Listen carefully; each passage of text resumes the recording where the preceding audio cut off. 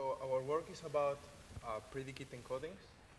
And predicate encodings are a primitive that are, is used to build predicate encryption. So I will start by explaining what predicate encryption is. In predicate encryption, there is a master authority, and there are some users, and this master authority provides secret key to the users, and every, every key is associated to certain value y that can be different for, for every user. And now in this setting, everyone is allowed to encrypt. And when you're going, where you're going to encrypt, you need to think of a, a value x. And what you produce is a ciphertext associated to, to this value x. And now, uh, so the requirement for predicate encryption is that only users that own a key that, such that a certain predicate involving x and the value y from the key is true will be able to decrypt. For example, in this case, let's say only the first girl is able to decrypt. A very important requirement also for uh, predicate encryption is uh, collusion resistance. So we want to avoid these two guys that individually cannot decrypt. We want to avoid uh, that they, they can combine their keys, for example, and be able to decrypt. So in, in general, no matter uh, how many keys you have, if none of the keys can individually decrypt the ciphertext, you should not uh, be able to decrypt. More formally, uh, predicate encryption, uh, encryption, consists of four algorithms that set up. This is run by the master authority. Encryption, that from a message and certain value x produces a ciphertext for x. Key generation, this is run only by the master authority. As you can see, uh, this needs the master secret key. And this produces secret keys for the values y. And decryption uh, only works uh, when the predicate is true. Okay, so there has been uh, many works uh, in this area. Here I'm just showing some of them, but usually all of them fall into one of these problems. Uh, for example, some of them are for very sp uh, specific predicates. For example, the inner product. Uh, if you think as f, uh, x and y as vectors, the inner product predicate says the, the inner product between these vectors is zero, for example. So some of these works are for very specific predicates like inner product or Boolean formulas. Another work, uh, works uh, use very, very strong assumptions. Another other problems are like uh, composite order groups. They use composite order groups that are supposed to be not so efficient, and they usually have bad performance. Uh, what I mean by this is that, for example, you may need uh, several group elements to encode a very small policy. Okay, so after all these works, two years ago, uh, these two words appeared and basically they allow to, to build predicate encryption in, in, in a much simpler way. So for example, they, they allow to achieve flexible predicates. You are not restricted to use one of these specific predicates. They also use reasonable assumptions. You see k-Lin in this one and the more general matrix DH. They are defined over prime order groups and yeah, they have flexible performance. So predicate encodings, as I said, are a building block to build predicate encryption. And predicate encodings are, are used in this, in this work here. But these two works are modular frameworks. I'm going to explain a bit the idea of these two, two works. So they define a, a simpler encoding, a simple primitive, that they call predicate encoding in one case and pair encoding in the, in the other work. And from this primitive, they can combine this with a compiler and they can produce a fully secure predicate encryption for, for P. So as you see, this predicate uh, depends on this simple uh, primitive. So if you replace this primitive by another one, for a different predicate, you automatically get a fully secure predicate encryption for a, for a new predicate. Okay, so uh, currently there, there have been uh, some improvements on this area.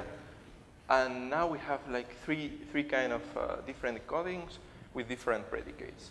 So there is these tag-based encodings. And in this case, the compiler is supposed to be a bit more efficient. You can save some group elements.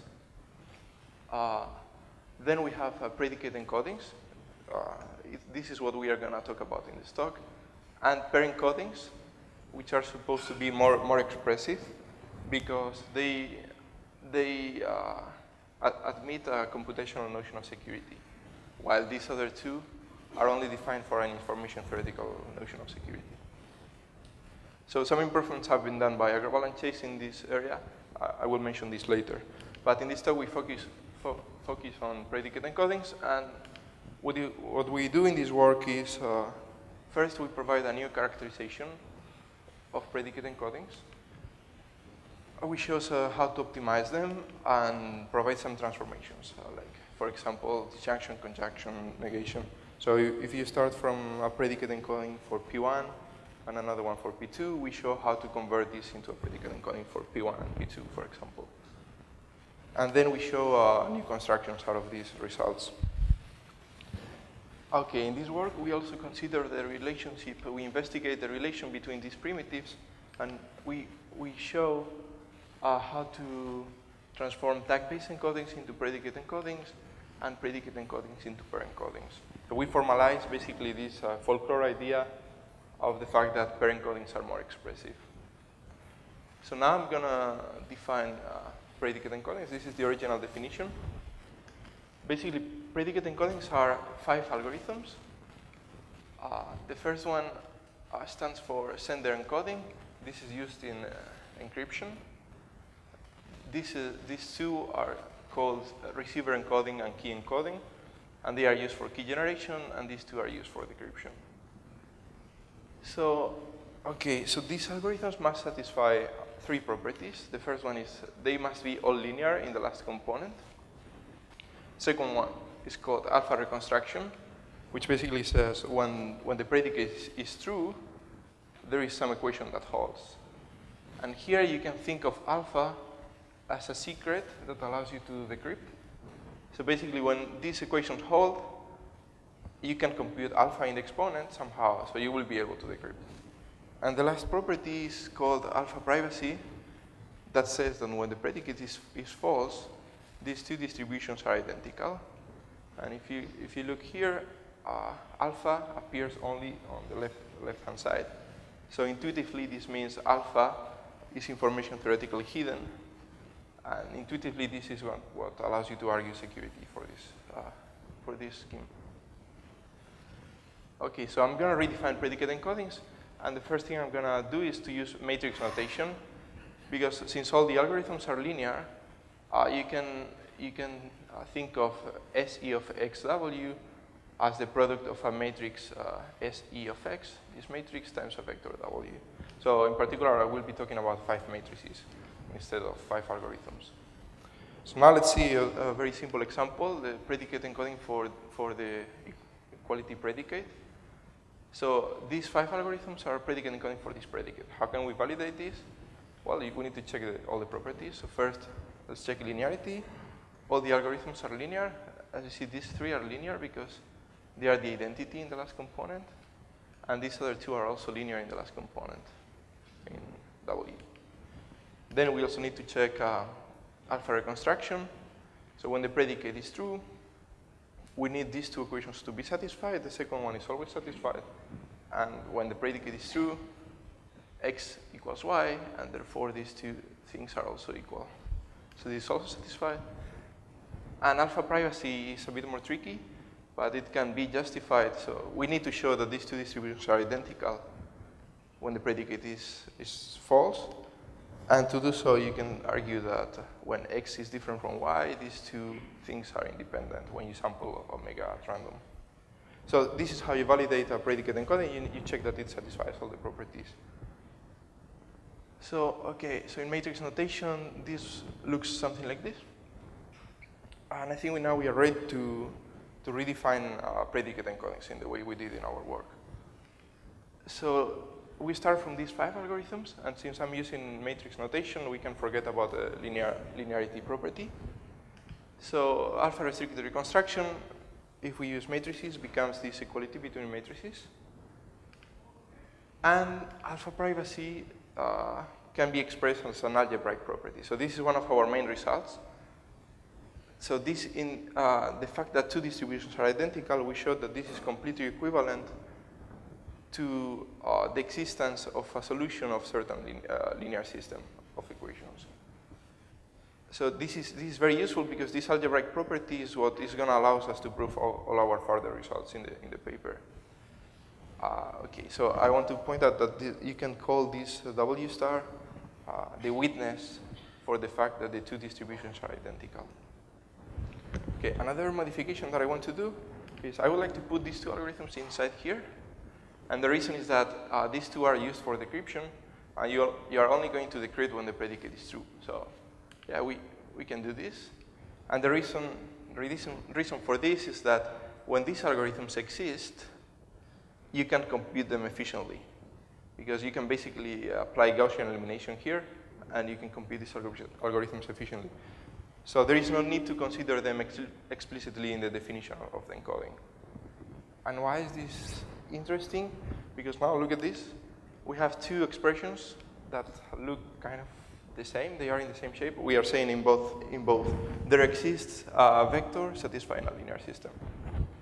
And in fact, these two conditions, we show that they are complementary. So that's why I'm using uh, complementary colors, uh, yellow and purple. Okay, so what I mean by this is that if this is the space of all pairs xy, in this space, some of the points will be yellow, some of them will be purple, but what I mean is that this region cannot exist. Like everything has to be either yellow or purple. And this is uh, useful because now, if we only have three matrices, we can, we can say that these three, three, three matrices, arbitrary matrices, induce a predicate encoding, a valid predicate encoding for the predicate, uh, you are in the yellow region. Why so? Because, okay, let's, let's see, when the predicate is true, you are in the yellow region by definition, and therefore you satisfy alpha reconstruction, because yellow is exactly alpha reconstruction. And when the predicate is false, since uh, you cannot be in the yellow region, you must be in the purple region because they are complementary, but purple is exactly privacy. So basically, given any three matrices, we can say these three matrices induce a valid predicate encoding for this predicate. Uh, here I'm basically using the definition from the purple. I'm saying you are not in the purple. So to see an example, if we consider a pre previous encoding, now if we are given just these three matrices, without any analysis, we already know that this is a valid predicate encoding for this predicate. The predicate that says you cannot build uh, uh, vector 0, 1 as a linear combination of these two vectors. And with a little analysis, you can show that this is equivalent to x equals y, as we, we knew from before. Okay, I want to point out that in a work by Agrawal and Chase from Eurocrypt this year, they consider a, a notion of encoding. So this is in the other setting of pair encodings. And they consider this notion of encodings that have uh, similar ideas to, to what we, we obtain from, from this implicit predicate. And the reason is that they build a compiler that takes uh, what they call non-trivially broken encoding and produces a, a predicate encryption scheme out of this under a Q-type assumption. And why is this similar? Because they, they also manage to relate the notions of reconstructability and privacy so what they are doing is basically a non-trivially non broken encoding is basically an encoding that does not satisfy reconstructability. And basically they argue that that is enough to, to have privacy. Okay. So I'm just going to talk about uh, our transformations. So one of the things we consider is how, can we simplify predicate encodings? And the operation that we consider is, okay, we work with matrices, so if we start with these three encodings, what happens if we multiply by a matrix A and B, obtaining new encodings? So what we want to achieve is that the implicit predicate associated to these three uh, matrices is preserved after this uh, multiplication. So in our results, we give the conditions on these matrices such that this uh, predicate is preserved. And why, why does this simplify? Because, for example, if uh, after multiplying you get smaller matrices. This will be translated into performance uh, improvements and also saving of some group elements. And yeah, so you can also consider multiplying uh, from the right. And we also consider that case in, in our paper. And then I want to talk about these transformations. So we provide generic transformations uh, for predicate encodings. I want to point out that uh, conjunction and dual, dual predicate by the way, the dual predicate swaps the roles of x and y. So before, if you remember, secret keys were associated to values y and ciphertext to x. When you apply dual predicate, it's the other way around. So this can make the difference, for example, between secret key policy and uh, ciphertext policy ABE, for example.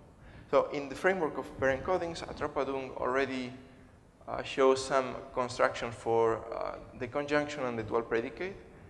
And in our work, we show that our, our constructions are slightly more efficient.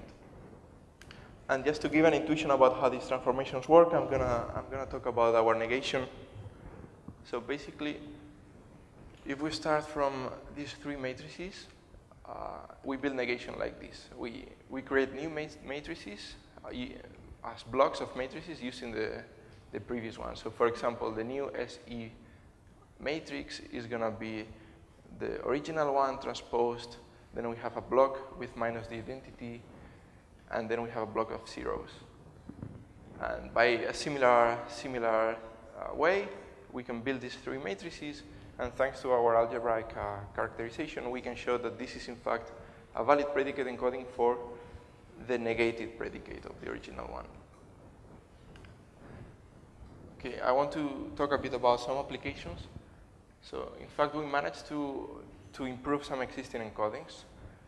For example, if we take this encoding from, from this work, uh, predicate encoding for Boolean formulas, and we transform it with a negation, and then we simplify it, we, we get a simpler encoding. Uh, by simpler, I mean uh, it has fewer group elements in the master public key. This will be translated into efficiency improvements. And also the secret key uh, size is variable. So if, we, if you produce a secret key for a, a small formula, secret key will be small. And if the formula is large, secret key will be large. But I want to point out that in the original encoding, secret keys were always large, always the worst case scenario for the size.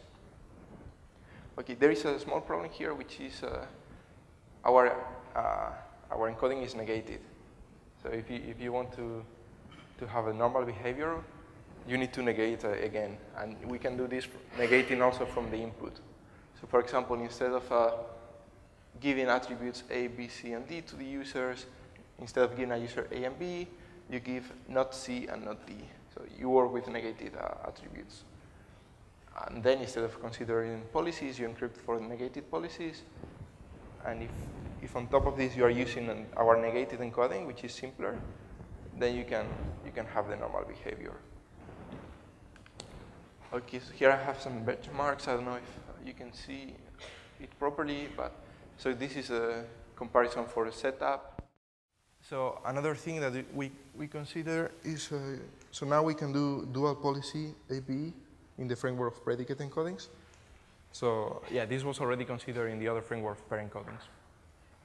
And basically we can do this by combining the conjunction and dual predicate uh, transformation. Another thing we can uh, achieve is uh, revocation. So we propose this method for revocation. Uh, you combine a predicate P1 for the actual access policies that you want to, to use with a predicate for broadcast encryption. And by using this, uh, you can revoke some users. So even if two users have the same uh, secret key for the same set of attributes A, and this uh, set of attributes is supposed to be enough to decrypt certain ciphertext, you can still use this part to revoke one of them and not the other. And in fact, we show that with this mechanism for revocation, you can achieve uh, revocation for thousands of users in reasonable time. So here you have uh, four algorithms of an implementation of our, our primitive. Okay, and then we have uh, other possible applications. You can read uh, more about this in the paper, but for example, we show also how to improve predicate encodings to support delegation uh, so this would allow you to, for example, take your secret key and weaken it into a less powerful one that you can delegate also. Or you can also use this to achieve forward secrecy if, just, if you destroy your original key. Yeah, so basically to sum up, uh, in this work we consider this, uh, this framework of uh, encodings that simplify the analysis of, of predicate encryption and construction And we focus on predicate encodings. We try to improve uh, their expressivity and efficiency. And to do so, we define an, uh, a new notion of predicate encodings. Uh, we combine them and provide transformations, optimizations, and yeah, we also give some possible applications of all these results. And we also consider the relations between these uh, encoding primitives. So I want to, to finish with uh, some questions. Uh, in fact, yeah, so for example, given a predicate encoding, a predicate, sorry, what is the minimal predicate encoding that you can build for it? Uh, or this one here, can we build predicate encodings for regular languages or unbounded ABE? I'm not sure about this. These two can be achieved in the framework of uh, pair encodings. And a very interesting one is why does this negation trick uh, works? So as you saw, uh, we managed to improve uh, an existing encoding by negating it and simplifying. And this, this does not only work for the Boolean formula encoding that I mentioned, but it also works, for, for example, for arithmetic span programs. So the question is, why does it work? Also, you may consider uh, of negating twice, but if you negate twice, you always end up uh, go, go back to the original encoding. So I would really uh, like to understand why does uh, negating simplifies uh, encodings. It's an interesting question for me. Yeah, so this was all. Thank you very much for your attention.